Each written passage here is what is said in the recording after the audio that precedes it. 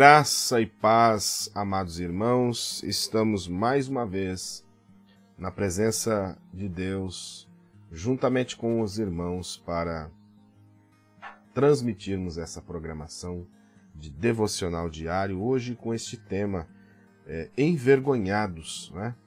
Envergonhados, nós tiramos essa palavra aí da, do capítulo 5 da carta de Paulo aos Romanos, no versículo 5. Estou com a Bíblia King James, versão 1611. E a esperança não nos envergonha, porque o amor de Deus está derramado em nossos corações pelo Espírito Santo que é dado a nós. Graças a Deus, né? É, a, a palavra vergonha, por definição, é um sentimento de desonra que ultraja, humilha, é um opróbrio, é um sentimento muito ruim. Quem já sentiu vergonha sabe que não é nada agradável. Agora a escritura de Romanos 5, ela está dentro de um contexto é, maravilhoso que o apóstolo Paulo, no capítulo 5, ele começa dizendo: sendo, pois, justificados pela fé. Ele está tratando desse assunto de justificação pela fé. Esse final de semana nós abordamos né, esse capítulo 5, esses primeiros versos, é, e, e, e nos prendemos a esses versos de uma maneira tão maravilhosa, é, olhando o que é ser justificado pela fé. Nós temos paz com Deus por nosso Senhor Jesus Cristo, pelo qual também temos acesso pela fé a esta graça, no qual estamos firmes e nos regozijamos na esperança da glória de Deus. E não somente isso, mas também nos gloriamos nas tribulações.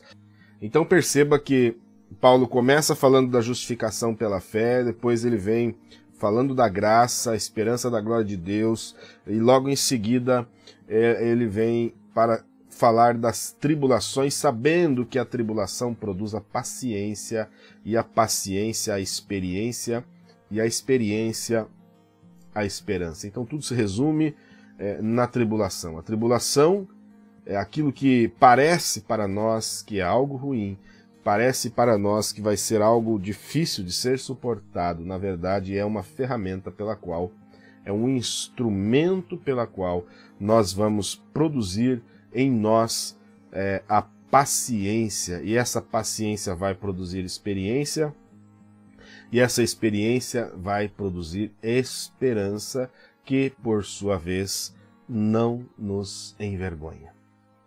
Que coisa maravilhosa é saber que nós não somos envergonhados. Salmo 119, versículo 116, a Bíblia diz: Sustenta-me conforme a tua palavra, para que viva e não me deixe envergonhado da minha esperança. A esperança, veja, não nos deixa ser envergonhados. No, em Romanos 9, versículo 33, como está escrito: Eis que ponho em Sião uma pedra de tropeço e uma rocha que faz cair, e aquele que nela confia jamais será envergonhado. Ainda Romanos 10, no versículo 11: Todo aquele que nele confia jamais será envergonhado. Mas é, é tão tremendo como Deus usa é, ferramentas que aparentemente são é, maldições ou são coisas não muito agradáveis para nós suportarmos. E ele pega esta, esses instrumentos, aquilo que era para ser algo ruim, e transforma isso em instrumento de bênção. Porque voltando a Romanos capítulo 5, tudo começa na tribulação. E aí o apóstolo Paulo ele diz: Nós nos gloriamos na tribulação. É, nós podemos sim nos gloriar, agradecer. Ó, Tiago ele diz assim: estende grande gozo quando cair em diversas tentações, quando você for provado a prova da vossa fé, produz paciência. É pela tribulação, é nesse momento de angústia que você está passando, irmã. É nesse momento de angústia que você está passando, irmão. Nessa tribulação terrível que tem vindo sobre ti.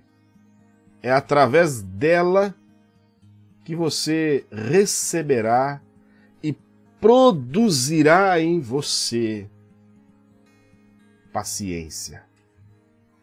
Essa paciência, por sua vez, vai gerando experiência. Experiência é algo que vem com o tempo. O tempo traz experiência porque ao longo da vida, por diversas tribulações que você passa, por diversas lutas que você passa, você vai aprendendo a ser paciente. Essa paciência traz experiência, a experiência, por sua vez, produz a esperança. E a esperança não nos envergonha. Você não será envergonhado. Desde que você saiba gloriar nas tribulações. Desde que você aceite a ardente prova que vem sobre ti, glorificando a Deus, adorando ao Senhor, sabendo que há algo no porvir, que há algo logo à frente que mesmo que você não consiga enxergar, mas que está esperando por você. E que essa tribulação é um instrumento de bênção. É um meio pelo qual você não será envergonhado. Pense nisso. Você não será envergonhado porque você já foi comprado por um alto preço, que é o sangue de Jesus Cristo no Calvário. E você tem aprendido a glorificar a Deus mesmo no momento de tribulação, no momento de angústia. Aceite a ardente prova que vem sobre você glorifique a Deus. Glorie nessa tribulação, porque no final das contas, essa tribulação vai desencadear em você um processo que não vai te deixar envergonhado. Mas lá no final você vai olhar para trás e falar graças a Deus por aquela tribulação. Graças a Deus por aquelas noites mal dormidas, por noites perdidas de sono enquanto eu olhava para a Bíblia investigava para ver se aquilo que eu estava ouvindo se tinha fundamento, enquanto meu pastor me colocava medo e dizia fique longe, tome cuidado. A palavra de Deus dizia examinai tudo, retende o bem. E isso trouxe um conflito entre tradição e palavra conflitando, isso gera em você uma angústia, uma tribulação terrível. Mas hoje eu olho para trás, para aquela angústia, para aquela tribulação e vejo graças a Deus, porque hoje eu não estou envergonhado, mas nós estamos agradecidos a Deus pela angústia por ele ter confiado a nós o evangelho da salvação, o evangelho de ajuda ao corpo de Cristo.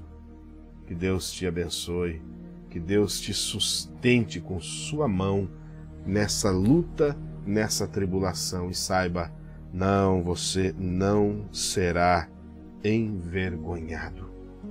Nós vamos orar pelos pedidos de oração, lembrando acrescentando não é? a esses pedidos. É Gabriel Pagamice Maximiano, que está na UTI. Nós vamos orar por ele e por todos esses demais pedidos né, que nós sempre estamos apresentando ao Senhor. É uma vasta lista aqui é, em nossa lista de oração e você intercede também por eles e também pelo nosso dia né, que está começando, pela semana de trabalho que se inicia. Senhor Jesus, nós muito agradecemos a Ti por tudo que o Senhor já tem feito por nós. Sabemos que o Senhor não nos deixa envergonhados. O Senhor tem nos mantido firmados na rocha que é Cristo, a tua palavra. Ó oh Deus, e as tribulações que sobrevêm sobre nós, vêm com um objetivo que no final é para que nós não sejamos envergonhados. Nós não estamos envergonhados, nós estamos é, honrados com a Sua presença em nosso meio. E aqui, Senhor, apresentamos a Ti estes pedidos de oração. Estão nesta lista pessoas necessitadas, este irmão na UTI, tantos outros internados, enfermos. E, Senhor, nós acrescentamos a irmã Zenilda Ians, sua saúde, também a irmã Nilce Ians, é, pedimos pela Eliane Beatriz, incluindo nesse pedido novamente a saúde de cada um dos seus filhos. Repreendemos a todo o mal nesta hora, sob o poder e a autoridade do nome de Jesus Cristo. Rogamos ao Senhor, se conosco, Pai, em nosso dia de trabalho, cada um, cada irmão, cada irmã, nos seus afazeres. O Senhor guia e conduz a cada um. No nome de nosso Senhor Jesus Cristo. Amém. Que o Senhor vos abençoe e vos guarde, que o Senhor faça resplandecer o seu rosto sobre ti. Um excelente dia para você. Hoje, é, nós estamos agradecendo a Deus por essas bênçãos como Jesus ensinou na oração do Pai Nosso. O pão nosso de cada dia dá-nos hoje. Por isso, o nosso devocional ele é diário, porque nós devemos orar e buscar a Deus pelo pão de hoje, todos os dias. Então eu digo que Deus abençoe o seu dia, que o Senhor Jesus lhe encha das mais ricas bênçãos celestiais. Um excelente dia para você e até amanhã, às 7 horas da manhã, o nosso devocional diário. Deus te abençoe.